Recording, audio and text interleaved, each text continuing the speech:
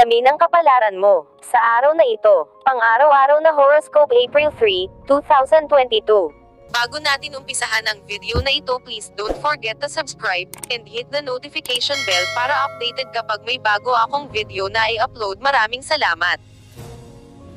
Abangan ang special shoutout pagkatapos ng video na ito. Pang-araw-araw na horoscope ay tumutulong sa iyo upang masuri ang likas na pangyayari na nangyayari bukas, ngayon mismo. Ang isa sa mga pangunahing bentahe ay malaman mo ang mabuti at masamang resulta na darating sa iyong buhay bukas sa pamamagitan ng pagsusuri ng paggalaw ng mga konstelasyong pangplaneta. Ito, malalaman mo ang tungkol sa mga bagay na maiiwasan o isaalang-alang, napatunayan man o hindi ang iyong bukas na maging mabunga at progresibo at kung ano ang mga hadlang at hamon na dapat mong harapin sa tulong ng pang-araw-araw na horoscope. Ang prediction ng horoscope ay isang pangunahing mode ng sinaunang astrolohiya, kung saan maaari nating malaman ang tungkol sa kasaysayan at hinaharap ng isang tao o lugar at hulaan ang tungkol dito. Kung saan sa isang panig, isinasiwalat ng daily horoscope ang mga hula tungkol sa buhay tungkol sa ating kasalukuyan, ang bukas ng horoscope, sa kabilang dako, ay tinalakay ng detalyado ang tungkol sa darating na hinaharap ngayon. Ang mga hula ay ginawa para sa labindalawang zodiac sign na naruroon sa Vedic astrology, na ang mga sumusunod. Aries. Ang buwan ay gumugugol ng araw sa iyong tanda, mahal na Aries, na nakikipagkita sa Mercury doon, at ang iyong pagnanais na ipahayag ang iyong sarili ay malakas. Nasa mabuting kalagayan ka para sa mga proyekto sa komunikasyon at matalinong pag-iisip. Maaari itong maging isang magandang panahon upang magpatakbo ng mga ideya ng mga kaibigan o magplano at mag-strategize sa iba. Gusto mong gumawa ng isang bagay na praktikal o kapaki-pakinabang ngayon, ngunit ang pagtuon sa mga pangmatagalang layunin sa kaligayahan ay nakakapagpagaling. Isang bagong buwan ang magaganap sa iyong karatula bukas ng maaga, na maglulunsad ng nakikita, malakas na cycle para sa mga personal na bagong simula. Ngayon, layuning magpahinga, magmuni-muni, at maghanda para sa mas abalang mga araw. Malamang na hanggang sa susunod na mga araw bago mo maging malinaw kung aling direksyon ang gusto mong puntahan. Makipag-ugnayan sa iyong mas malalim na mga pangangailangan at pagnanais para maging handa ka ng aktibong ituloy ang mga ito pagkatapos ng bagong buwan. Lucky number for the day, 7. Lucky colors for the day, green at red. Taurus. Ang mga transit ngayon ay nagbibigay inspirasyon sa praktikal na pag-iisip, mahal na Taurus. Madali kang kumukuha ng karanasan at karunungan at ilapat ito sa isang kasalukuyang problema. Angkop din ang mga ito para sa tahimik na pag-aaral o trabaho sa medyo nag-iisa.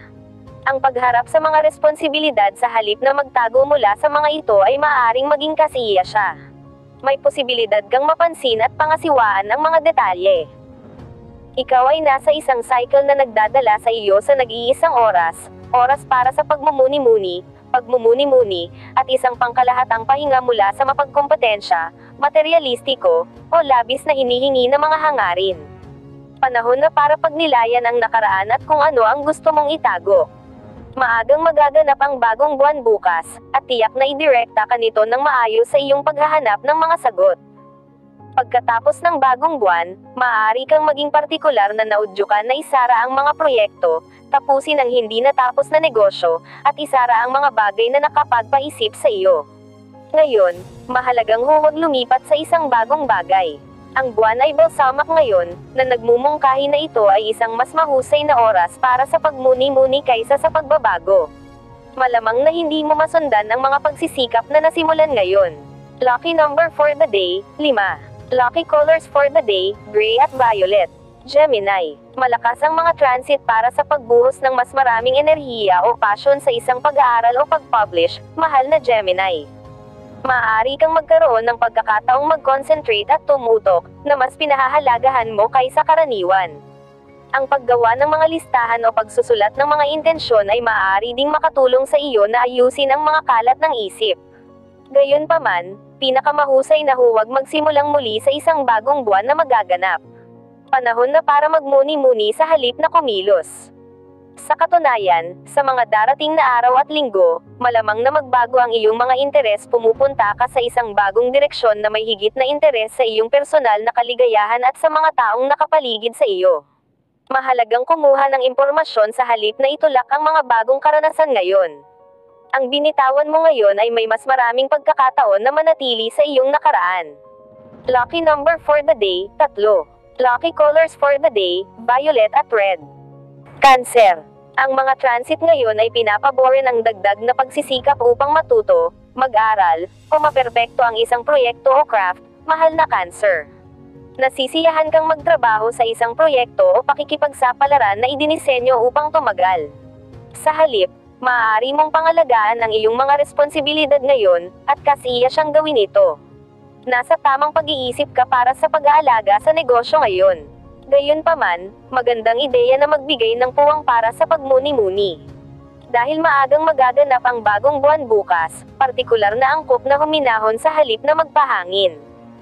Ang pagtali sa mga maluwag na dulo at kung hindi man ay palayain ang iyong sarili sa labis na bagahe ay isang magandang ideya upang linisin ang daan para sa mga bagong simula. Ang mga bagong simula ay malamang pagkatapos ng bagong buwan bukas, at may pananagutan ang mga ito na nauugnay sa mga layunin tungkol sa iyong karera o direksyon sa buhay, katayuan, o reputasyon. Lucky number for the day, 6. Lucky colors for the day, orange at black. Leo, ang pagtatrabaho tungo sa isang partikular na layunin at hakbang-hakbang ay nakakakuha ng mas magagandang resulta ngayon, mahal na Leo. Ang trabaho at paglutas ng problema ay lubos na pabor.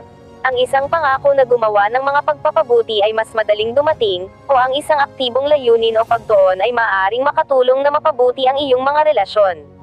Ang bagong buwan ng bukas ay magbibigay inspirasyon sa mga bagong simula.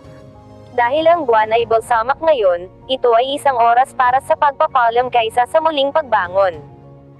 Bigyang pansin ang mga random na damdamin at iniisip ngayon, dahil ito ay isang oras para sa pagpapabuti ng sarili sa pamamagitan ng pagpapalawak ng iyong sarili ng higit sa iyong normal na gawain. Maaring ituro ka ng maagang bagong buwan bukas sa isang bagong direksyon sa mga linyang ito. Mas angkop na itali ang maluwag na mga pagtatapos at ay proseso ang mga kamakailang kaganapan kaysa sa pagsingil ng maaga sa mga bagong plano. Lucky number for the day, 4. Lucky colors for the day, red at pink.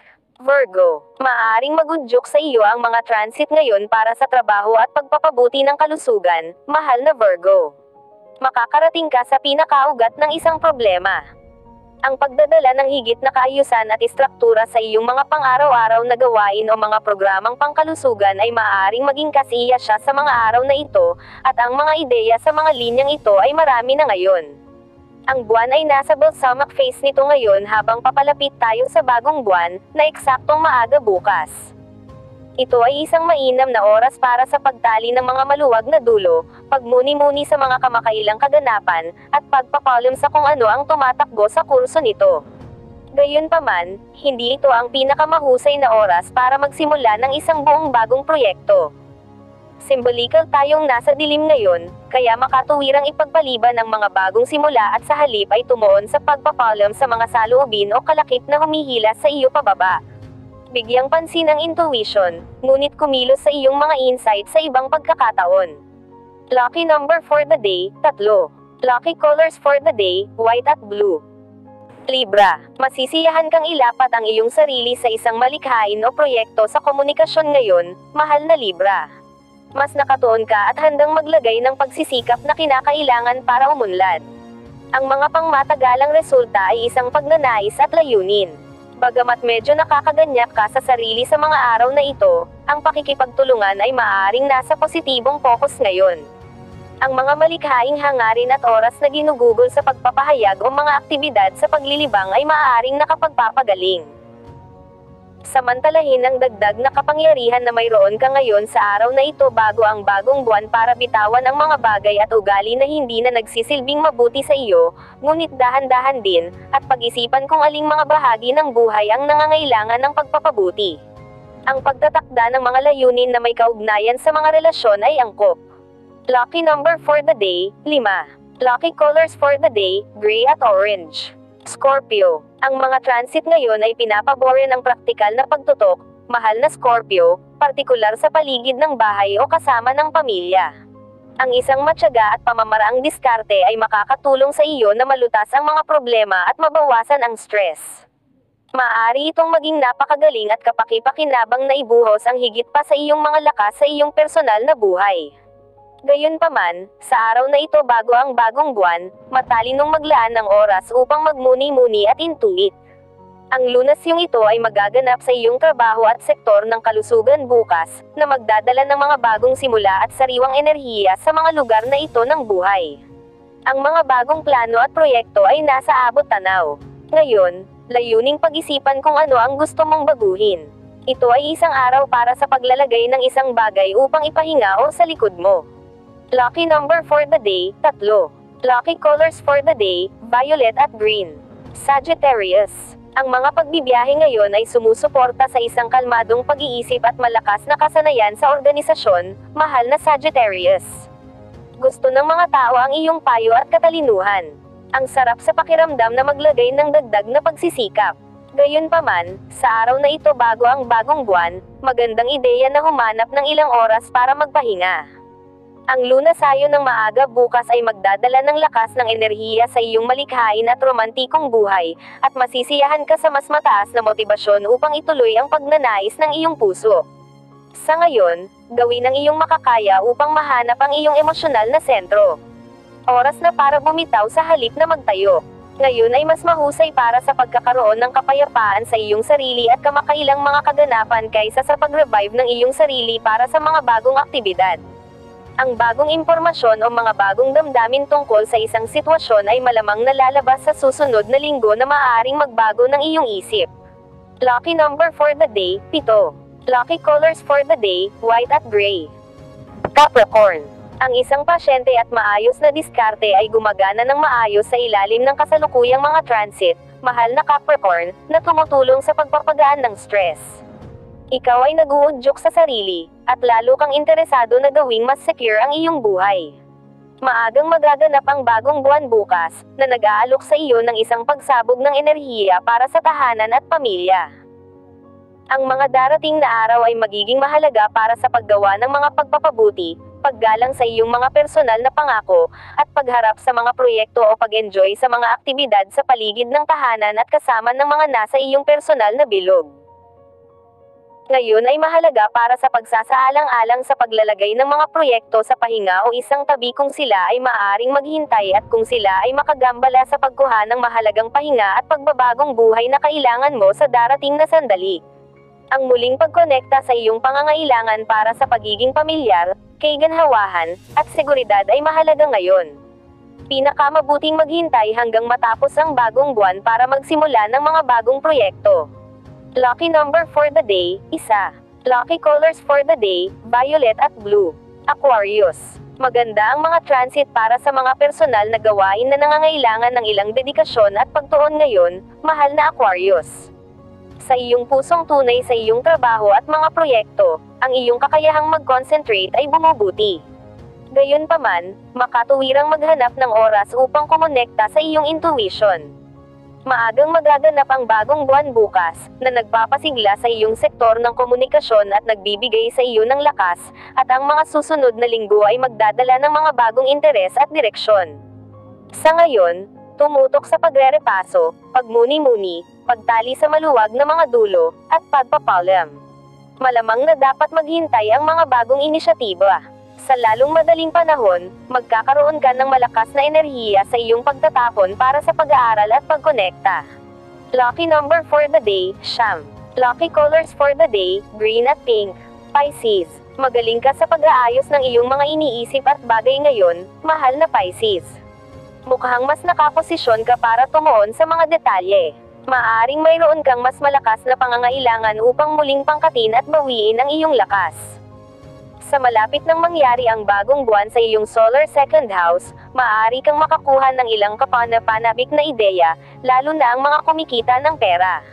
Pinakamainam na tanggapin at tangkilikin ang mga ideyang ito at pagkatapos ay matiig ang ayusin ang mga ito habang nagpapatuloy ka. Iwasan ang lahat ng bagong pagsisikap, dahil mas mainam na tapusin o tapusin ang mga bagay-bagay sa paghina ng buwan.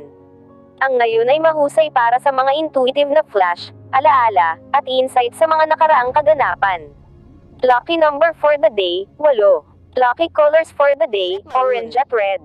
Special shout out to the following. Special shout out kay Sir Mario Caesar. Thank you for watching, sir. Special shout out kay Sir Camille Cedrin. Thank you for watching, sir. Special shout out kay sir. Marlon Vaji. Thank you for watching, sir. Special shout out kay sir. Isagani Ignacio. Thank you for watching, sir. Special shout out kay ma'am. Jocelyn Tanido. Thank you for watching, ma'am. Special shout out kay ma'am. Joan Cruz. Thank you for watching, ma'am. Special shout out kay ma'am. Neri Sapila. Thank you for watching, ma'am. Special shout out kay ma'am. Julia Sujiyama. Thank you for watching, ma'am. Kung gusto mong magpa-shoutout sa next video comment na. Maraming salamat sa panonood mga kapatid. Sanay nagustuhan nyo ang video na ito, please don't forget to subscribe and hit the notification bell para updated ka pag may bago akong video na i-upload. See you on my